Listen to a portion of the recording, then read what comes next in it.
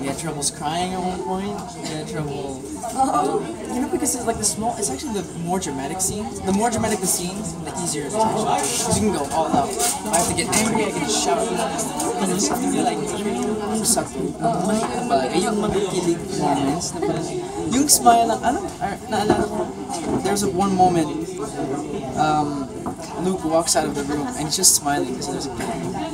17 takes yun. 17 takes. Kasi parang, parang, it's hard to like really get that feeling. But there were struggles, but everything was working. Uh, pero you guys know that you can't please everybody. There were, there are good reviews, but then dun sa mga passengers, as we were talking about bashers earlier, ano yun, paano, paano kayo naghahanda para dun sa sasabihin at, you know, na, hinahanda na namin sarili namin. Open naman po kami sa lahat ng mga comments po nila.